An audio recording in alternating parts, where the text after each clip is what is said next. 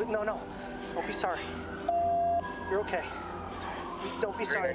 There's nothing to be sorry about. I got you, okay? I'm not gonna let you die. Powerful body camera video of a moment a San Diego sheriff's deputy nearly loses his life to an accidental fentanyl overdose. This is video of Corporal Scott Crane administering Narcan to his trainee deputy, David Faiivae. Now, to save him, a sudden exposure to fentanyl, I mean, it can kill you instantly. It's a drug 50 times more potent than heroin.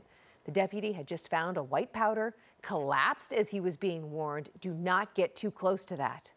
It was in an instant. It's as though you like my lungs just locked up. I, I, I, I couldn't breathe. I was trying to gasp for breath, but I, I, I couldn't breathe at all. I don't think people realize the severity of just how deadly it really is. That is what our first responders face when they respond to some of these calls.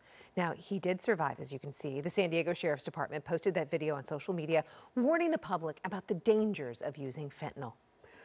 Hello, I'm Mark Brown. Get more great ABC7 content by clicking the subscribe button for our YouTube channel and download the ABC7 Los Angeles streaming app on Fire TV, Android TV, Apple TV, and Roku to watch on your TV.